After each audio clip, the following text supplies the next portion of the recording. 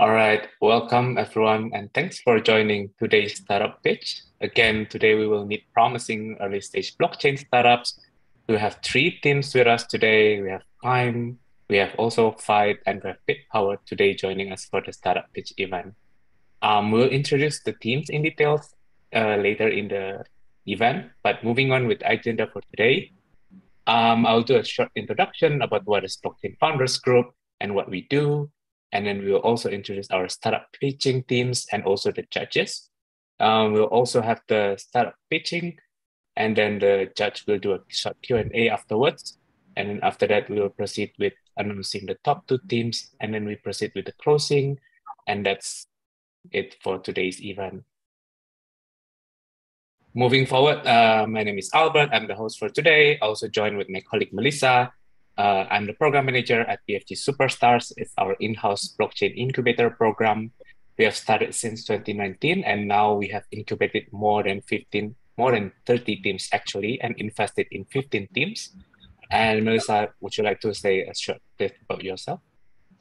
Sure, Albert. So, hi everyone. I'm Melissa, the marketing and operations manager at Blockchain Founders Group. I'm passionate about hearing new ideas from startups. I love building partnerships and connecting people. And I run these monthly pitch events with my colleague Albert here. And so we're both really looking forward to hearing from all the startups today. Awesome. Thanks, Thank you so much, Melissa. Um, yeah, again, if you're interested in connecting with any of the pitching startups or if you have or your own startups, feel free to reach out and connect with us and we'll inform you with the upcoming pitch events as well. Okay, so moving forward briefly about us, uh, Blockchain Founders Group, we are a venture capital and we are also a company builder. As a venture capital, we invest in like uh, crypto companies. We are Web3 agnostic, so we're interested in any Web3 based businesses.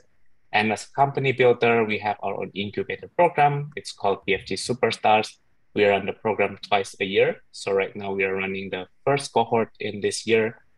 And again, we are interested in any kind of blockchain-based businesses. As you see here, this is part of our bigger portfolio. We have invested in over 45 startups since our initiation in 2016.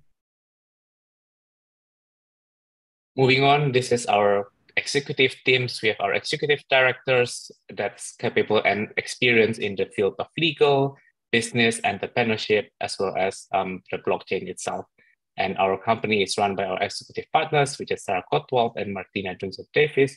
Both are very experienced in entrepreneurship and also Web3 businesses.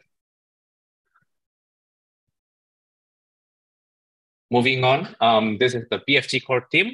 Uh, me, Melissa, and also our colleagues Max, Jongchan, Elias, and Yona.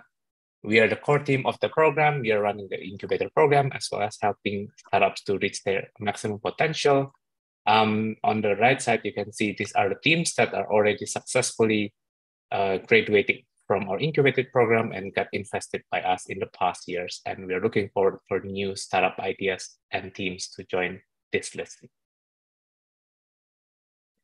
Um, I'm very excited today because we'll be joined by our uh, judges. First, we have Yaroslav and we also have Ludovic. Hopefully he's joining us by now, but First, I would like to give the stage to Yaroslav to introduce quickly about himself. Yaroslav, please.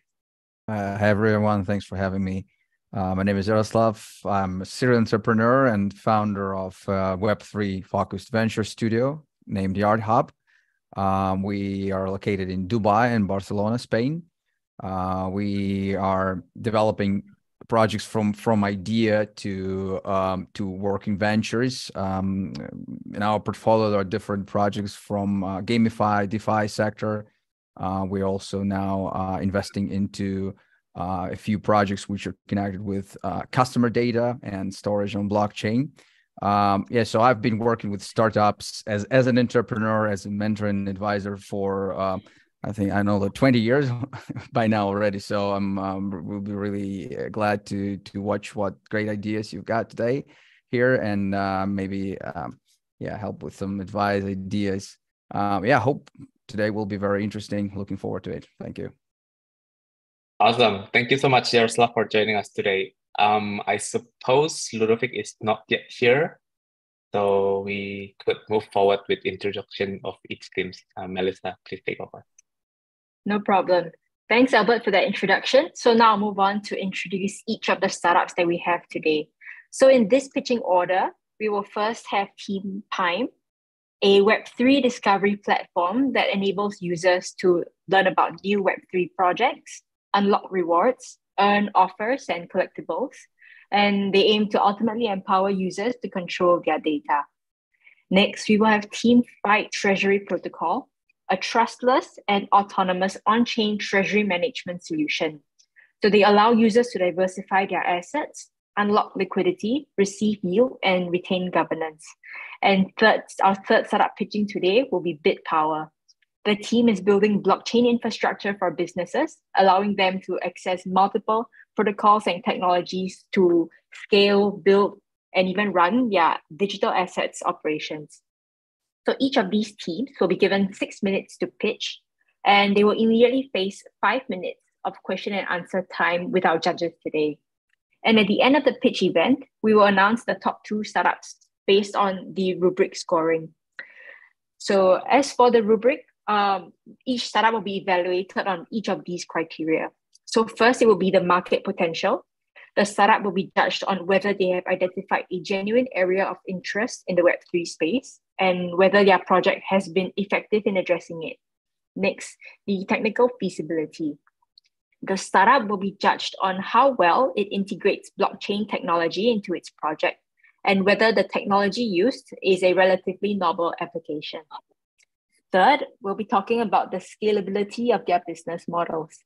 So the startup will be judged on how scalable their business model and growth plans are from a regional to a global level. And lastly, the strength of the founding team. The judges will be evaluating the team with their educational background and past experiences. So they'll be looking at how well this team is equipped and confident to develop to deliver the project. And so without further ado, let's welcome Team Pime and Simon to share more. Great, thank you. Let me just get set up.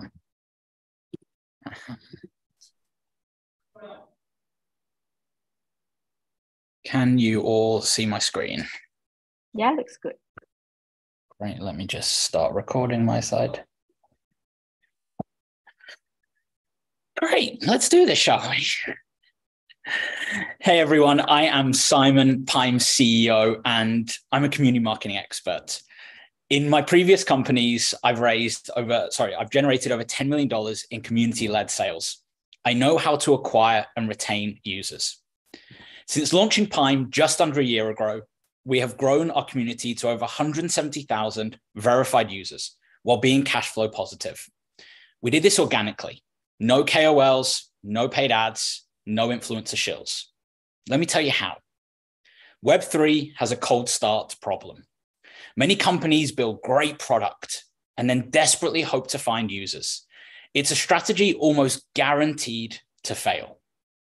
Over the past few years, companies raised a lot of money that then went on conferences, on parties, on vibes, and at best, airdrops that delivered no long term value or retention.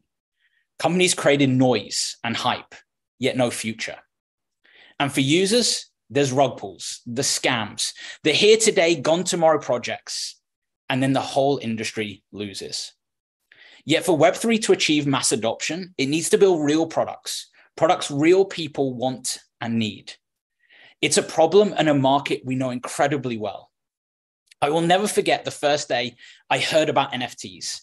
I thought I was going to be a billionaire overnight. I thought I was so early.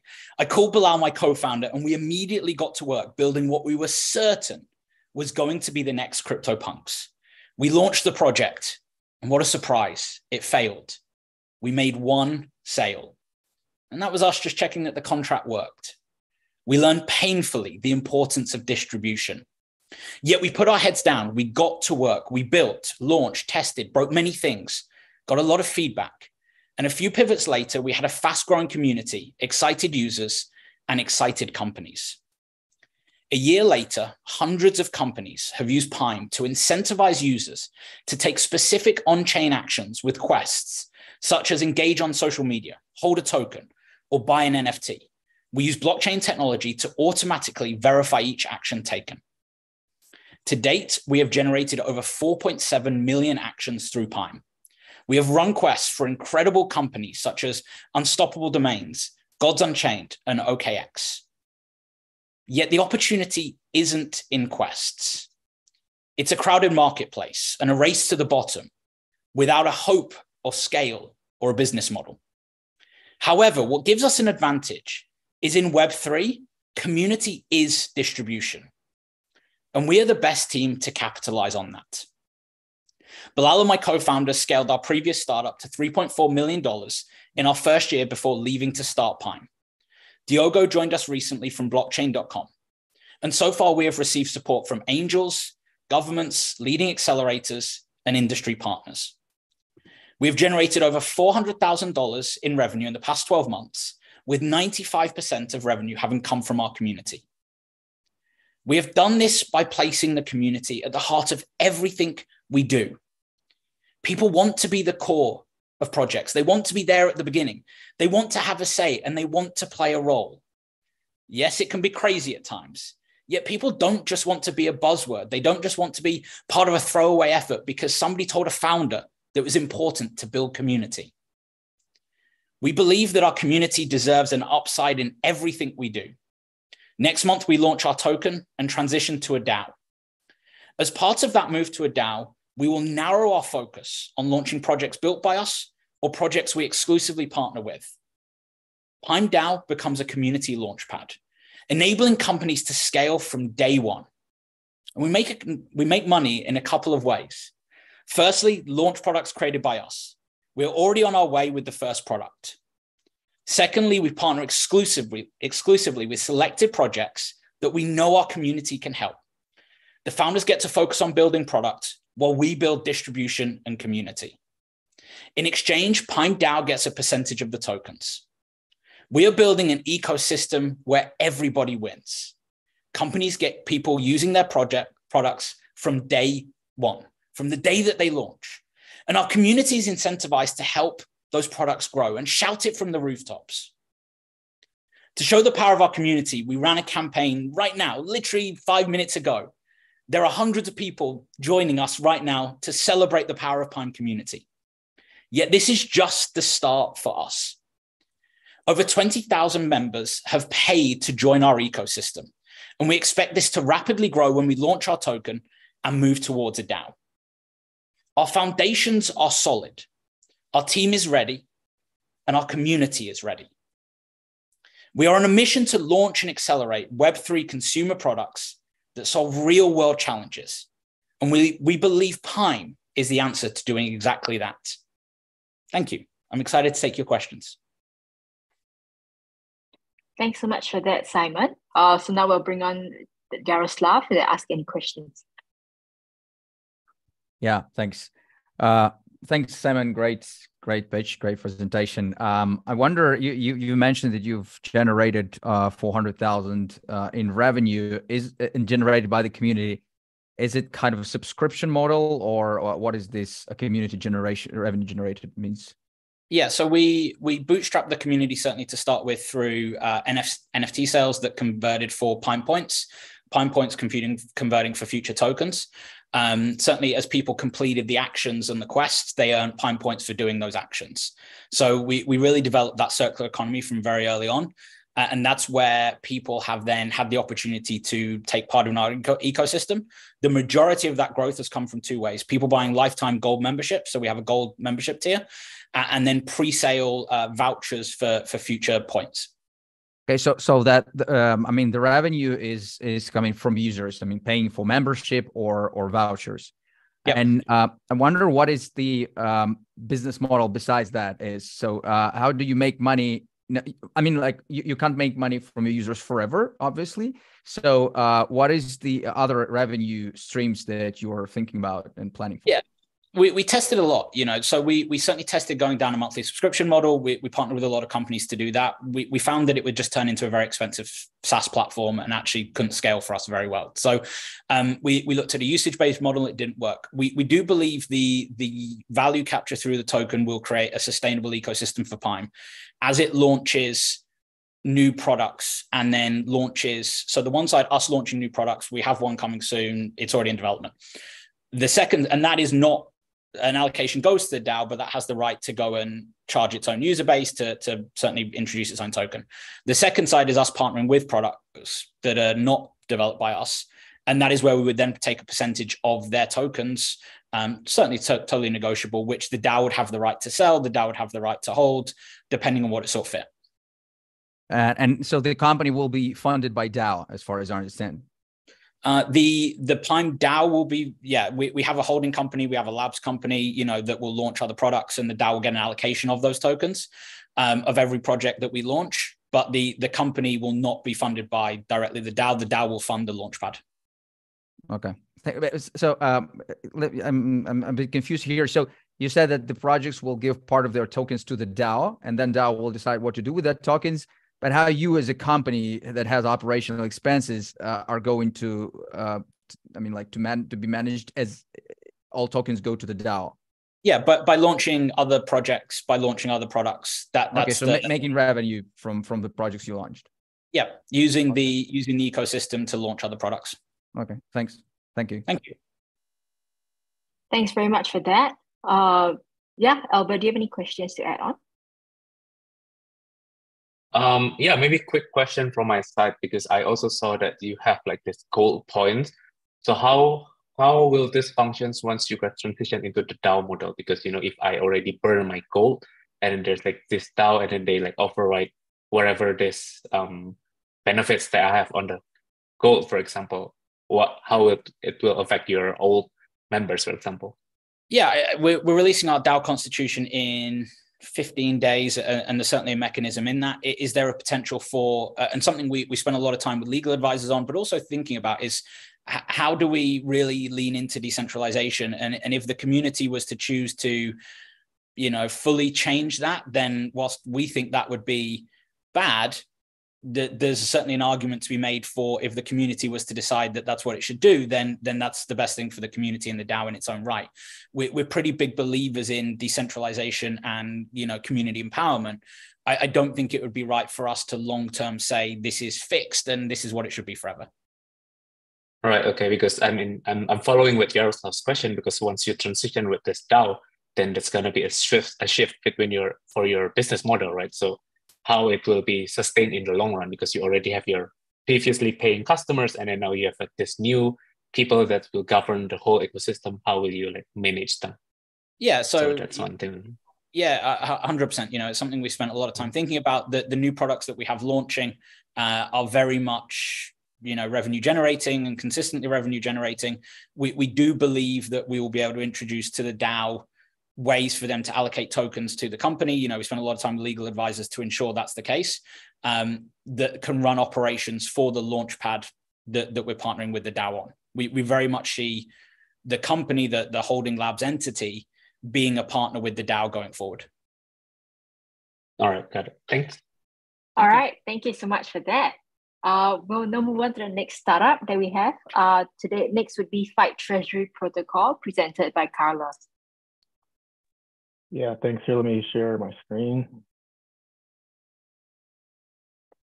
So look all right to everyone? Yep, looks good.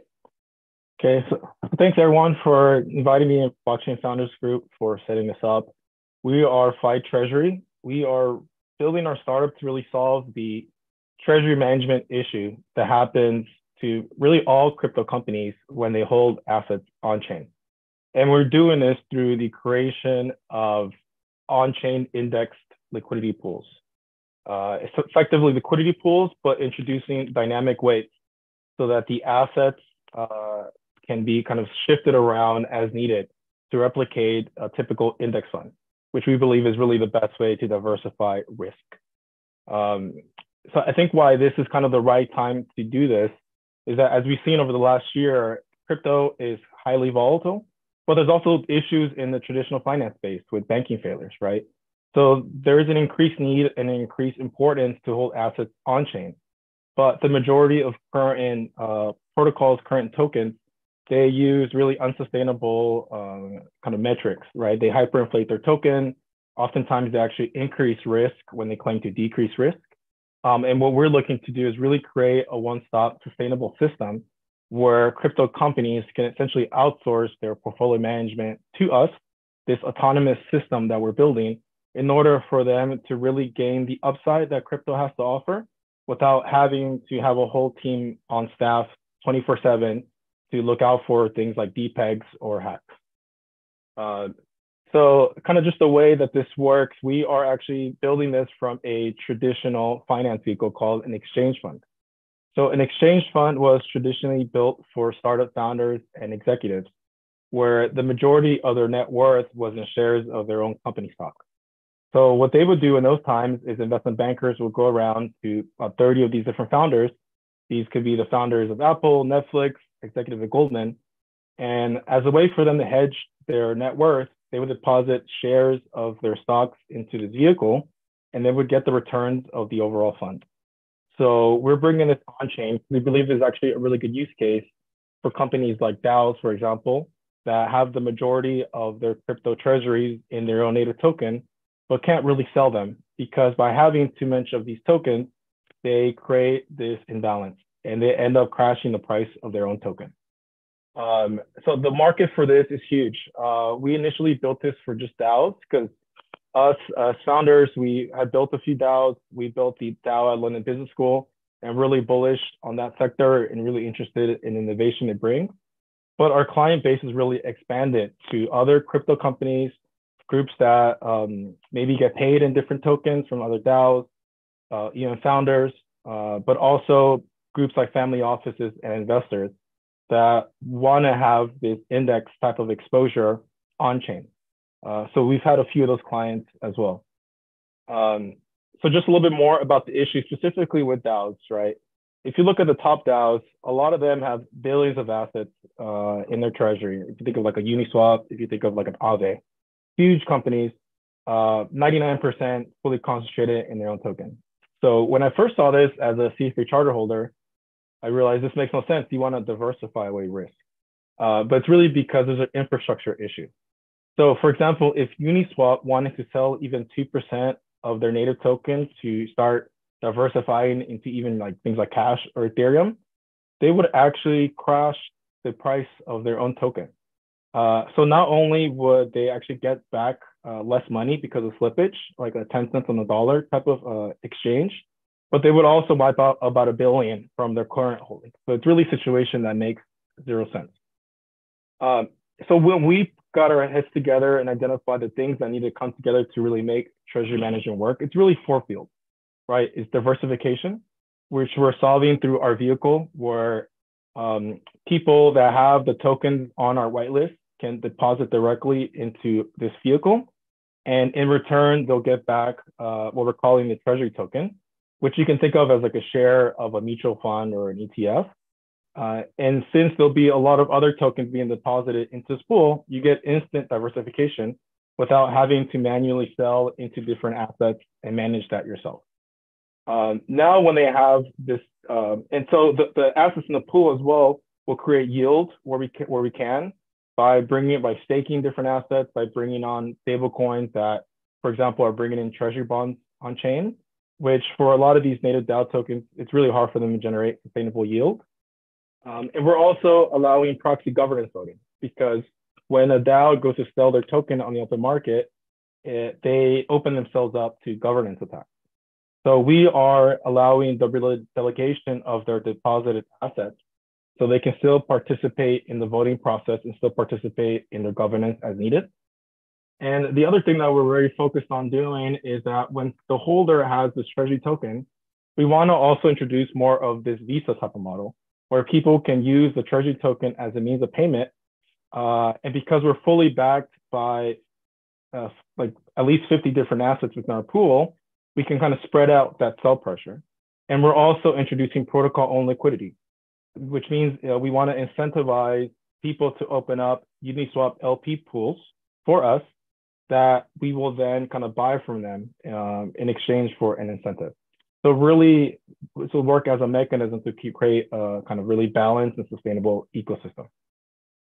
Uh, on the back end, it's complicated, but on the front end, we want to make it super user friendly and gamified, where people can simply go on our site, They can deposit multiple tokens in that are whitelisted. They can uh, swap tokens in and out in order to help us balance the pool. So having this kind of gamified uh, version of it. And then they'll simply be able to go to our governance section so they can redelegate the voting powers to whomever they want to, and then still go on Snapshot or still go on the MakerDAO forum, for example, and continue to vote as they normally would whenever. Uh, so this is just a little bit about how the exchange pool works, as I, I mentioned earlier, um, where people would deposit this pre-vetted list of assets. Uh, there'll be concentration limits as well within the pool. So as uh, in order to kind of not create a 80% Uniswap pool, we want to really kind of diversify the risk. Um, these are kind of the four different things that we're covering. Just a bit about the team, uh, very experienced team. Our CEO, uh, head of investment, was previously JP Morgan's chief investment office group, leading up their blockchain research. Uh, we all built the London Business School DAO together.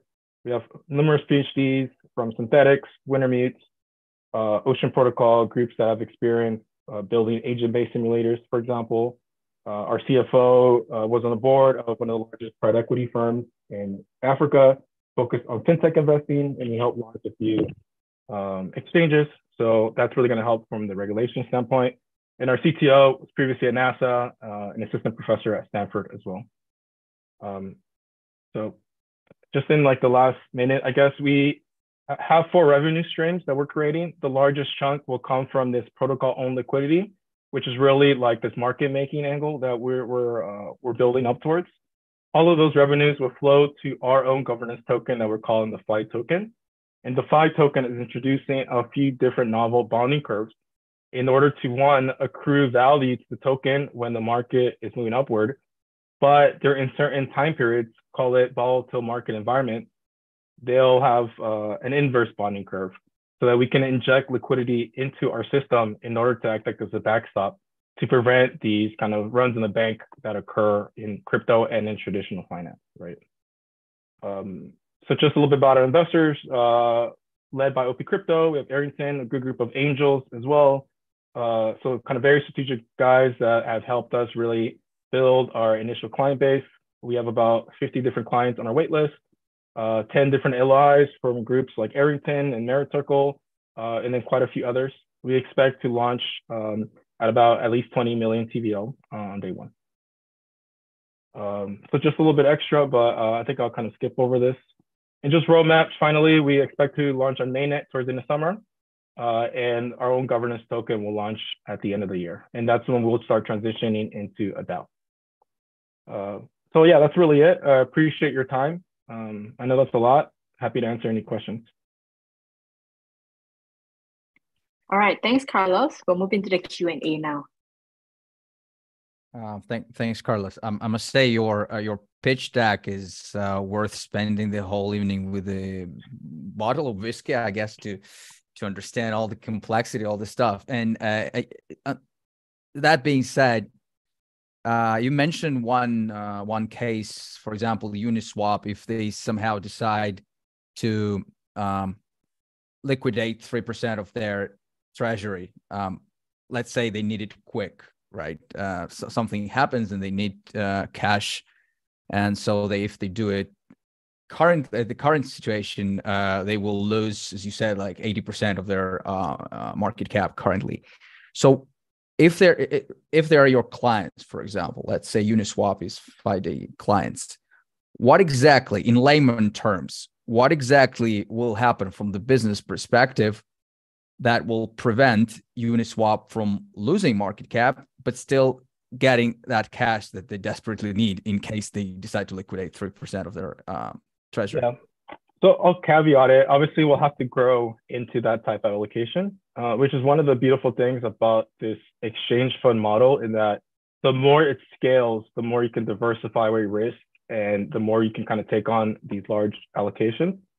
Um, so assuming we're at the scale where we have room for 3% of their treasury, what would happen is that they would deposit that directly into our protocol and then mint back the equivalent value in our treasury token. So it doesn't actually hit the open market sale. You can almost think of it as being locked in a vault, right? So now that Uniswap has this treasury token, If they then do want to like exchange it, obviously you can send it to a peer. But let's say they just want to actually move it into cash at that point, or a stable coins or off ramp it or something like that. So we have a redemption mechanism as well. So similar to how USDC works, similar to how ETFs work, right? So they would sell it on the open market. And then there's a few different mechanisms from there that we, we implement to kind of spread out the sell pressure, right? At the very minimum, we're working with market makers so that they can uh, facilitate this redemption process. Um, the market maker can then go in and they can essentially deposit the treasury token back into our protocol. And what they would receive back is a handful of tokens. So they would receive back a combination of the tokens that are most overweight in our protocol, uh, but then also like a basket that represents the underlying liquidity. So similar mechanisms to how an ETF works. So in this way, we can, instead of selling one token on the market, we essentially sell bits and pieces of a lot of different tokens, right? So even if we get back 10 tokens, all of a sudden that sell pressure is 10x less, right? Uh, the other thing we're doing is this protocol owned liquidity mechanism.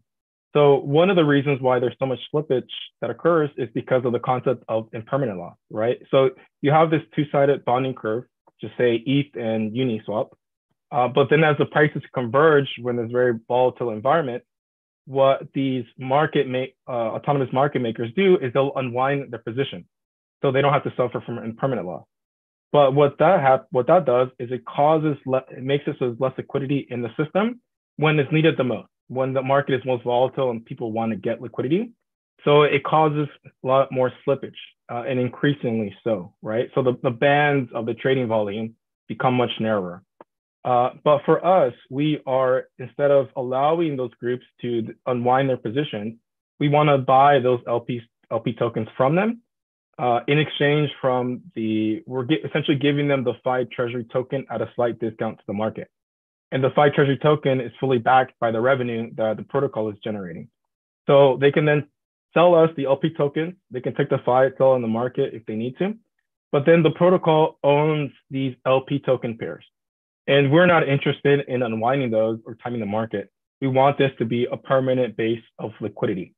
So over time, as we reinvest into these LP tokens, we'll start having more and more pairs. It'll be Treasury at USDC, Treasury ETH, you know, Treasury Tether, for example. And over time, then we can even expand into other different token pairs to really expand the optionality of the liquidity that we can kind of help flow into the system to really aggregate and, disintermediate the sell pressure. Because the really fundamental issue is that Uniswap has two token pairs and we want to make that optionality amongst as many different tokens as possible all at one time. Uh, th- thanks, but is, am I right to understand that uh, actually you will be only able to manage uh, such treasuries like Uniswap, for example, if you already have uh, much higher liquidity in your system? So, I mean, like this is the hen and egg problem here for me. I mean, like to to attract a lot of liquidity from from players like Uniswap or uh, any other huge treasuries, uh, you need to show them that you already have much more liquidity in your system. So how do you plan yeah. to to join the market with with the huge liquidity already in your pocket? Yeah. So the the large centralized decentralized DAOs that'll definitely be a client base that we have to pursue a little bit later. Just going after governance proposals, it's like running for politics. We have to show track record. So initially on day one, um, we are getting clients that are kind of outside of that. So some of them are just service providers that get paid in uni that might still have a million or two in assets, uh, or just kind of um, some family offices that just want to have an index. But what we can do within the pool, let's say we someone just deposits USDC because they want this index exposure, then we can sell that USDC and accumulate the rest of the assets that we need in order to create this diversified pool, right? So the goal is to start at about 20 million, which is what we're going to do now.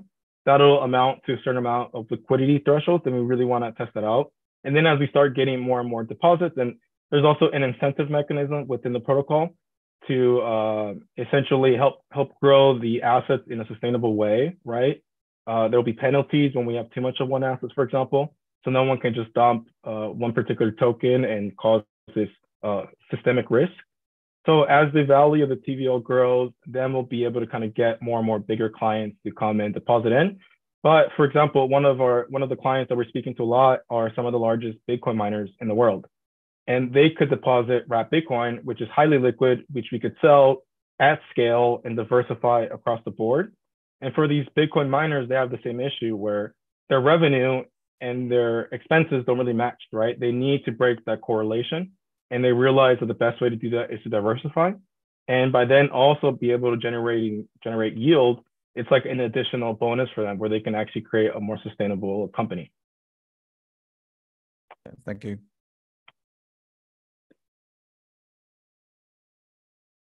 Right, Carlos, thanks for sharing. Um, there's actually a question for our audience. Um, it's from Harry. By spreading the sell pressure, doesn't this mean you are devaluing the other tokens? And how does a protocol manage their risk exposure to collapse of other tokens? Yeah, so um, I'll start with the last one. So by having this dynamic weight system, we're also building momentum indicators. So we've developed uh, things like several different nodes, for example, to monitor as the on-chain transactions come in, as well as kind of different pricing feeds. So the goal is that we would monitor different indicators on like a, a tick level basis, buck level, you know, five seconds, 10 seconds. And then if these indicators start breaching downward too quickly on like a, let's say two standard deviation level, then we can quarantine those assets, which is a unique aspect to what we're doing. So when they're quarantined, we'll stop rebalancing into those assets so that then at least we kind of segregate them.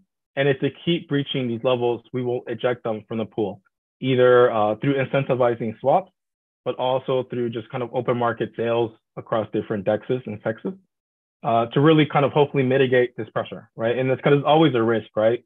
Even USDC, which previously was thought to be the safest thing, depegged at one point, right? And that became an existential risk for a lot of these projects. In terms of devaluing the value of the token, um, the studies that we've seen when ETFs were first introduced in traditional finance, the liquidity and the, the kind of upward volatility, so upward price movement for the tokens in those indexes actually improve. And you see that when a new project gets introduced, like the S&P 500, for example. So we expect something similar. The big question is on the liquidity, like how much can we sell at one point, right? Because liquidity is nonlinear. You can sell up to a certain amount, but then once you hit this inflection point, you really start having to take on less and less value for a sale. And that's where our portfolio management mechanisms come in at. We really want to, uh, we're really building the algorithms to really price that in and to really help, that'll kind of go directly into how much tokens we'll take in and then our incentive mechanism, right? So we start getting close to the point where if we do start having to sell, we breach into this concentration limit and we cause an imbalance in like the order book or the liquidity pool, we'll start lowering that uh, token allocation slowly but surely and really doing things in, in over time and not all at once, which is where really you get this downward pricing pressure. All right, that's great. Uh, that's been a really long Q&A session. uh, thanks for that, Carlos. So now we'll move on to the third and final startup for today. So we will have uh, Toby from Bitpowr on. Hi. Hi, everyone. Um, thanks for having me today. Um, yeah, my name is Toby, um, Toby Itoke. I'm the co-founder and the CEO of Bitpowr. Um, can you guys see my screen? Uh, let me see. Yeah. Um, awesome. So basically, Bitpowr is building um, blockchain infrastructure for financial institutions and businesses to be able to build uh, financial products for the end users, right? So um, today, there is, um, we can see um, high adoption of, um, of, of, blockchain technology across um, financial services from Tether processing more transaction volume than MasterCard last year. Uh, MasterCard and Visa, so 88% of crypto transactions are basically cross-border transactions. So then over 60% of uh, asset managers have purchased like, oh, like uh, stable coins in the past 12 months. This shows a lot of a lot of interest on a lot of usage in terms of uh, businesses um, providing financial service for users. You can see from Stripe as well now investing um, in crypto by offering crypto uh, off ramp and also I, I believe on ramp, right? So Visa now investing and Mastercard as well investing in uh, investing millions in, in in a blockchain for them to be able to you know, provide financial services and expand their financial aspirations um, on the blockchain, right? So basically, the um, blockchain adoption has corrected across financial services. Um, however, existing solutions are not designed for fintechs from Fireblocks to BitGoes to Survival, right? These solutions are not designed um, for fintechs. Um, they are very, um, today, building blockchain power solutions to embed financial services or to provide, or to provide financial service to the end user uh, basically um, takes months for you to for you to get started with. Um, time consuming, a very very expensive as a traditional business or a business that's trying to expand their financial operation on the blockchain. Uh, it costs you a lot from the hiring cost of uh, from the cost of hiring engineers to the cost of uh, building tech and every other thing. Right, basically costs you more for you to be able to provide financial services for end user um, using the blockchain right? And as well, uh, building on the blockchain or providing financial services on the blockchain is complex because you have to think of um, the blockchain you want to use and also trying to, you know, uh, go through all the whole complexity. As a business who just are looking to expand their financial operation or embed financial services using the blockchain technology, uh, this is basically more complex for them to get started with. And that's basically why we are building Bitpowr. So Bitpowr is basically uh, a modern um, financial infrastructure for uh, businesses or institutions to build uh, financial products um, using the blockchain technology from compliance to custody to ledger infrastructure to wallets to tokenization to settlement. Bitpowr is basically providing um, the uh, a single platform uh, for anyone to be able to uh, access such uh, features. And in the last um, seven, 11 months that we've gone live with our first customer, we've onboarded over 40 um, customers uh, across um, Africa, Europe, and Asia. We've processed over $50 million transaction volume in just in beta. And currently we grew around 30% month on month, right? This is really awesome. And the fact that we are in beta and we've already uh, processed this uh, volume in just 11 months. So today we work with uh, businesses in Africa, Asia, and Europe, right? And uh, majority of customers we work with are, are neobanks and fintechs that basically embed the power um, solutions to be able to uh, provide financial services for their end users. So our product, so basically Bitpowr provide an intuitive platform and easy to integrate services from the wallet um, infrastructure that basically helps you to create and manage thousands of wallets and generate uh, crypto uh, addresses across multiple um, blockchains to the custody infrastructure, which is uh, an institutional programmable MPC-based custody solution to help you secure and manage as asset operations. So this can be embedded into any wallet product or any product alongside our wallet uh, to be able to provide um, to be able to provide uh, a, a, secure wallet system for end users. So if you're a if you're a team or you are a business to look, looking to an exchange or a fintech looking to uh, manage data assets for your customers, basically uh, we provide this, um, a, a, a custody solution that can be integrated via the API or through an SDK that can be embedded into your product, right? The third thing as well is our ledger infrastructure, which is basically a database, um, a, a, a database for money movement. So basically, you want to have a single set of truths for your transactions and balances across on-chain and off-chain transactions. And Bitpowr basically solve that by providing you um, a ledger infrastructure that can basically help you to record your off-chain and on-chain transactions, and also to be able to manage uh, your customers' balances, to avoid fraud, uh, to be able to validate those transactions across different chains, and also ability for you to be able to build, um, to, be able to, to, able to build a, an efficient digital wallet that can support multiple currencies, both virtual currencies as well as um, uh, on-chain assets like ERC20 and so on. Um, then last thing we offer our customers is a compliance infrastructure that basically provides you a, uh, a single platform for you to integrate into leading compliance services from transaction monitoring, from um, transaction monitoring to to identity platform to case management. So let's say you are so basically you can connect your Chainalysis, Sift, um, Elliptic, or Merkle Science uh, API key to our compliance infrastructure, and automatically all your transactions you have processed basically we'll be going, we'll be run through the services and can give you a, a, a profile of the kind of transactions uh, your customers are processing without actually writing a, without actually writing any code. So basically, it's a no code to to integrate into compliance services. You can connect to identity platform like SumSub and also some in Africa, like um, um, Identity Pass as well, where you can easily connect, create a profile of your customers and kind of transactions uh, they are they are processing without writing any code, right? So our platform basically, our service, our product basically provides a single platform for you to be able to issue, uh, to to create and manage wallets across multiple blockchains, deploy MPC-based custody solution across different environments, then as well as um, record um, your off-chain and on-chain transactions, uh, um, and as well as get uh, get compliant from day one, right? So how we make money? So we make money um, in two ways. We make money from the subscription fee. So using our platform, you get to pay from hundred dollar to two thousand dollars based on the pricing plan you are on, right? And um, you pay from hundred dollar to two thousand dollars, right, based on the plan you're on. Then from transaction fee, we charge a fractional trans- total transaction, right, from 0.25% to 0.01% based on the volume, um, based on on the volume um, you process, right? So, and of course, we charge stable coins to not uh, stable coins to avoid the FX market um, across different countries. So, uh, Bitpowr basically is built natively for businesses or institutions are looking to embed financial services into their product um, using the blockchain technology. So, we are simple to use. We are built this um, efficiently for um, for any business who's looking to um, manage the asset for their customers uh, basically um, build a closed loop payment system or build a cashback payment, uh, a, a, a cashback program on in-app earnings for their end users uh, using the blockchain technology, right?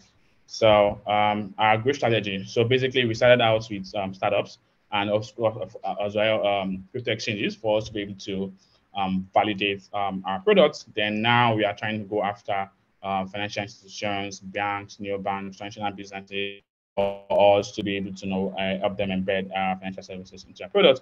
And we today we get our customers from inbound, from search results, from communities, and as well as refer. Right? And the major way we um, get our customers right now uh, as well is direct sales, basically sales led, where we go after this kind of customers and like um, decision makers and try to like demo uh, with them. Um, using the inbound like search engine right now, if you go on Google right now and you search for wallet infrastructure, Bitpowr basically comes as the first um, as, as, as the first option as a result or when you start for wallet infrastructure across different um, when you start for wallet infrastructure. And the way we think of acquiring our, our, our growth strategy is by also um, going through the uh, Web3 developer community um, driven, where we get to uh, provide more a, uh, APIs for developers to build uh, financial services um, as well right? So um, today, so we started out, to, we launched our product in January 2022,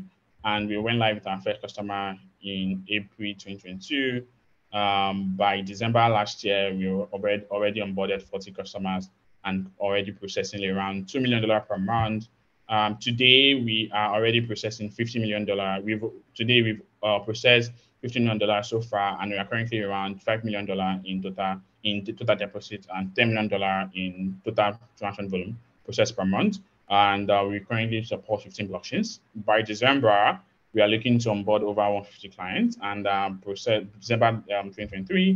By the end of this year, we're looking to onboard close to 50, 150 clients uh, and process like and the points we start processing like around 50 million dollar in total in basically deposit volume. Then at that point as well, we are looking to have launched our crypto accounting also started our settlement infrastructure and as well as uh, expand our product to enable more integrations across um, different services that we are providing. Um, um, myself, uh, I have a background in computer science and as well as in cryptography. Over, I have over eight years of experience in software engineering uh, across building, building different products from uh, majorly, uh, majorly I have experience in building enterprise products, and I've, I've been able to work with different companies, majorly in the US as a remote um, directly from Africa, then as well as working with companies in Mauritius and of course in Nigeria, right? And um, my team, um, my co-founder Marach Amicha as well, who's also has background in accounting and finance, and as well she worked for a blockchain company in Dubai, and as well as managing um, fintech um, blockchain um, product. Uh, basically, then so our our engineering lead who are, who's also a very experienced technical leader that's, that, that's basically helped a lot of companies, majorly in the US as well as in Africa, to build um, scalable distributed system in finance and the blockchain industry. So our education background basically uh, computer science as well as um, accounting. And uh, our team altogether basically have had uh, over the, over 10 years experience altogether uh, in building uh, in building successful um, blockchain and fintech products. Um, in our in in one of the products we built uh, that, that I led in our previous workplace, I we built a product, um, basically a blockchain off-ramp product, and that has been that has been used over like close to over 500,000 users um, down in Africa. Right. Thanks so much for this. I'll just give you a couple more seconds to wrap up. Oh, no problem. I'm, I'm actually wrapping up already. Okay. Yeah, so basically our team have, have a lot enough experience to be to be able to build what we're trying to build right now. Um, yeah, so at the moment, uh, so basically today we are backed by leading investors and founders from 500 Global to First Impact to Velocity Digital and Pillar Innovate. Uh, in summary, basically, we are powering the future of finance. Uh, we, are, we are powering the future of finance on the blockchain. Uh, we've onboarded 40 customers. We've processed over $40 million, uh, over $50 million in transaction volume. And we are basically um, building the next, um, um, the next uh, modern financial infrastructure using the blockchain. Thank you.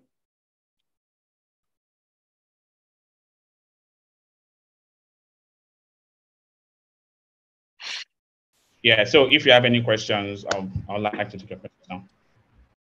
Yeah, th um, thanks, Oitoki. Uh, actually, on the last slide, you had um, the links to see the use cases. Uh, I uh, like kind of a feedback. Uh, I, I really wish there was kind of a use, use case explained uh, in in the pitch deck, and you know, like some very simple case. Because if uh, if I understand everything correctly, you're providing kind of an infrastructure for uh, traditional businesses and uh, some financial management companies to process crypto and uh, doing that very simple without having any problems with authorities with compliance with banks and, and things like that so uh, yeah. is it right that they are possible to to receive crypto for their services or goods or whatever and then they have cash on their bank account and, and they can pay taxes and all things. Is, is it what you're doing for them? No, so basically we so basically we are an infrastructure. So they basically embed our product, our API into their product. So let's say you have been an, an, an a, crypto exchange, for example, and you okay. want to use our wallet infrastructure to be able to create wallet addresses for your customers into their product. So they use Bitpowr to do that. That's the first part. If okay. you want to be able to use a custody solution like MPC back, uh, MPC based custody solution to embed into your product, as well. You can use Bitpowr Custody to do that, right? Then Ledger to be able to record financial services. So basically, we are in, we're an infrastructure that will basically provide the services via an API for them to be able to build um, financial products. So uh, we basically provide them the infrastructure. So yeah. So you you you don't serve as any kind of a provider um, or, or, kind of a bridge between cash and crypto. Um, so you, you're only giving you're giving the tech infrastructure exactly. or or some financial and custodial infrastructure as well.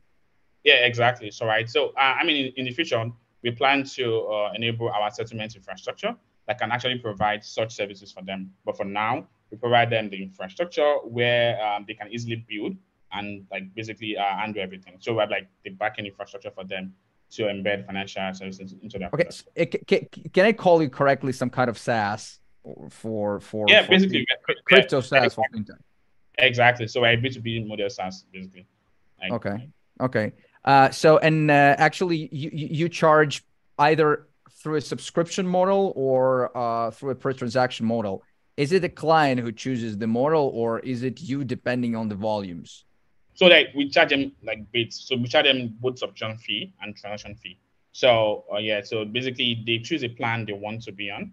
So they can say they want to be on startup plan to business plan to enterprise plan and that will determine the uh, the the, um, the subscription fee they pay and transaction fee they pay, right? So the more uh, higher, the higher the plan you are on, the lesser the um, transaction fee, but of course the higher the um, subscription fee. So it can be from hundred dollar to two thousand dollars based on the subscription fee, then 0.25% to 0.1% based on the transaction volume that you process, like outgoing transaction volume that you process.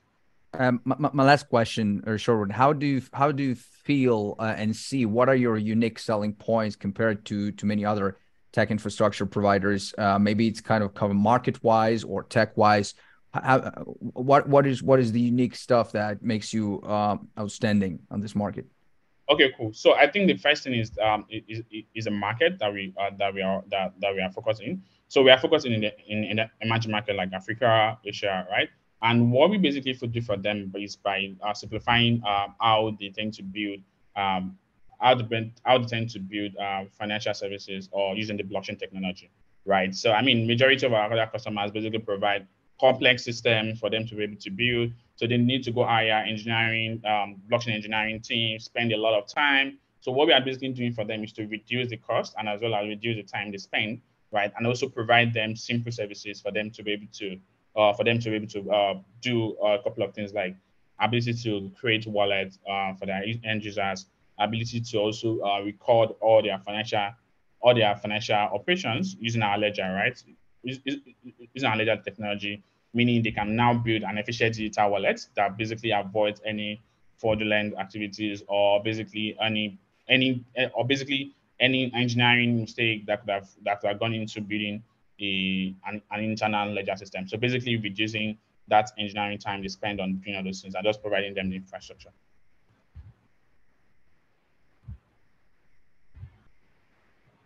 All right, Albert, do you have any questions to add? Yeah, um, maybe quickly. Thanks again, Toby, for the presentation. Um, I'm I'm just impressed with the 50 million numbers that you presented. I mean, out of like this 30 plus customers that you have, what's the biggest chunks of the service that they actually use? And second, maybe regarding compliance, because I understood that in Africa you have like these different communities. How are you legally compliant with these different communities, let alone like the different currency system there? Okay, so in terms of um, the kind of customers that we, that we, like I said earlier, um, so majority of our customers are like new banks and fintechs that are basically using stablecoin to expand their financial operations.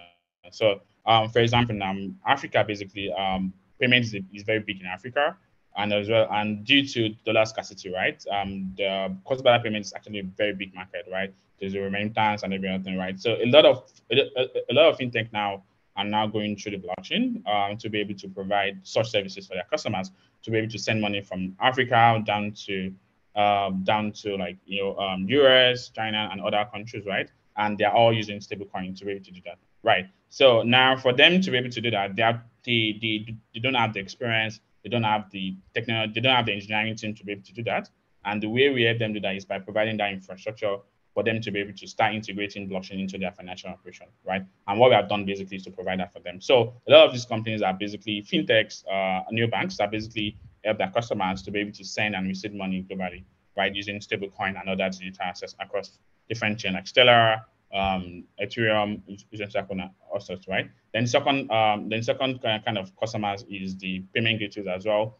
Um, that basically um, uses uh, that basically um, uses uh, crypto payments and method uh, customers to be able to receive and get paid globally, right? Then the other customers are just traditional businesses that provide this kind of uh, traditional businesses that provide this kind of uh, internal wallet for their customers to be able to like hold balances and every other thing, right? So what we have done for them is by providing them that infrastructure for them to be able to build a closed loop payment system, right? For them to be able to retain their customer by having a wallet into their product. And the wallet can basically uh, power both fiat, uh, both uh, both can basically help them to record both on-chain and uh, and fiat currencies, right? And basically simplify that, right? Because a lot of these guys uh, trying to manage them together can, can basically cause a lot of issues and can also result to fraud. And what we have done basically is to provide them that infrastructure for them to be able to um, to be able to, to embed such services into that product. Got it. Thank you. Yeah, and and, and basically um, the goal basically is to build a, a, a blockchain, a financial rail on the blockchain where everyone uh, can basically interact with blockchain without them knowing they're interacting with blockchain. Today right now, a lot of businesses in Africa are using blockchain, right? Without the end users knowing that they're using blockchain, right? And that's like the that, that's like the biggest um, use case of, uh, of the blockchain technology, where you can easily send money from one place to another, from uh, Nigeria to China, from Nigeria to or US and also receive money using stablecoin and other digital assets. So that's basically All right. Thank you. Thanks so much for that, Toby. All right, uh, we'll just go ahead to wrap up and uh, conclude the event. So I'll just go ahead and share my screen.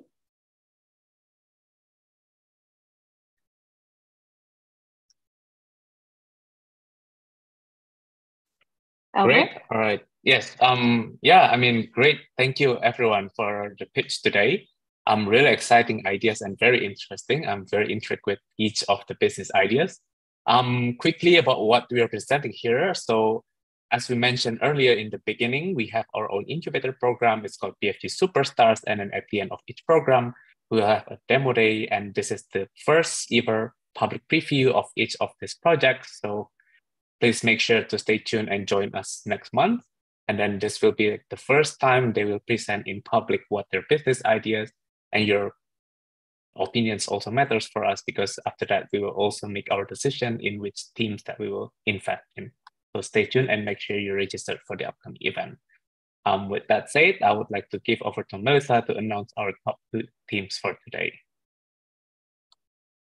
So the judges' scores are in. Thanks so much, Yaroslav, and thanks, Albert, for stepping in as well.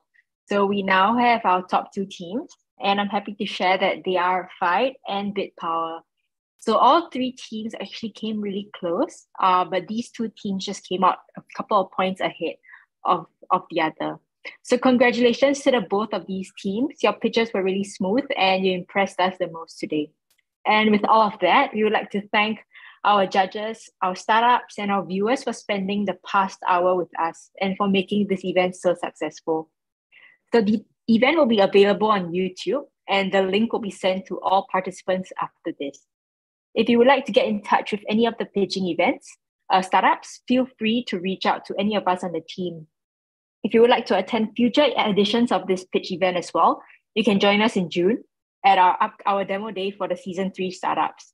So follow us on our social media platforms, LinkedIn, Twitter, and you can even join our Slack channel.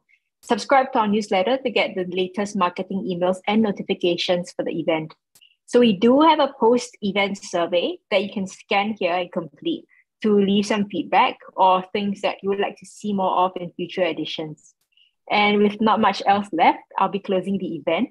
And I would like to thank everybody for attending it today with us on Zoom, on YouTube, and just spending your time with us. Bye bye. Thank you, everyone.